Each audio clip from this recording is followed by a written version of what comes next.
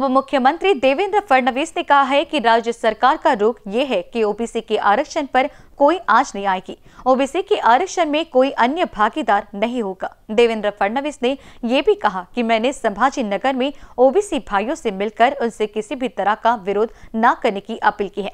अब मैं नागपुर में भी प्रदर्शनकारियों से मिलने जा रहा हूँ, इसलिए मेरा अनुरोध है की ओबीसी समुदाय से कोई भी अब विरोध प्रदर्शन न करे।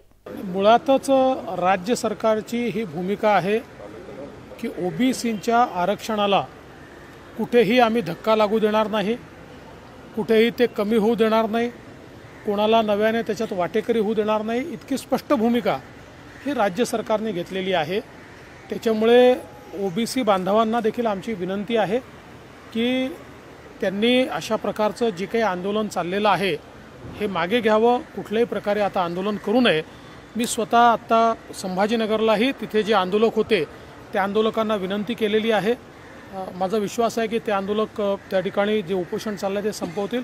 नागपूरमधल्या आणि चंद्रपूरमधल्या आंदोलकांना त्या ठिकाणी आमची विनंती आहे. नागपूरमधल्या आंदोलकांना मी स्वतः भेटून देखील विनंती करणार आहे की त्यांनी आंदोलन त्या ठिकाणी करू नये.